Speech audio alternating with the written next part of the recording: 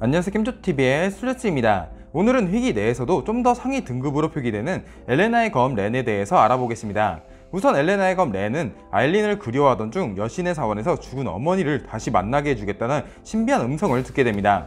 렌은 망설임 없이 음성의 지시대로 움직이고 임무 완수를 위해 사사로운 감정을 죽였다는 스토리를 가지고 있고 해당 스토리는 추후 업데이트를 통해 메인 스토리로 등장할 것으로 예상합니다 엘레나의 검 렌은 4인 raid 기간테우스 전에서 제압기를 사용할 수 있는 필수 영웅입니다.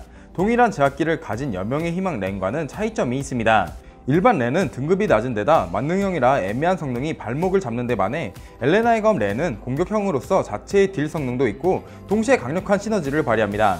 치명타 시 대상에게 받는 피해 증가 debuff를 남기며 소소한 방어력 감소 스킬도 가지고 있습니다. 50레벨 기준 9초 이상 피해 면역이 되는 buff기도 가지고 있어 생존력도 나쁘지 않은 편이며 비록 4인 raid에서는 빛을 못 보지만 궁극기 포함 감전 스킬을 두 개나 가지고 있어 potential이 있습니다.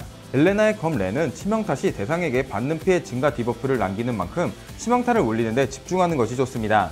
우선 아이템 세팅은 암살자의 맹세 세트를 착용하여 최대한 치명타 확률을 올려주는 게 좋습니다. 무기 초월이나 신상력도 치명타를 올려주니 확실히 신경 쓰셔야 효율이 나옵니다. pet도 전설 pet이면 좋겠지만 진영의 경우 요즘 속공 진영과 함께 국민 진영이죠. 치명 진영에서 중열에 배치하여 치명타 피해를 올려주는 것이 좋습니다.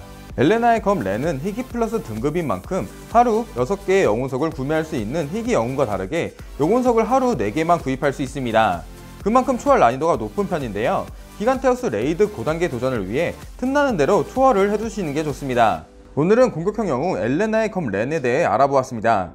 희귀 플러스 등급 중 유일하게 4인 raid 필수 영웅이기 때문에 습득한다면 필수적으로 육성하는 것을 추천드립니다.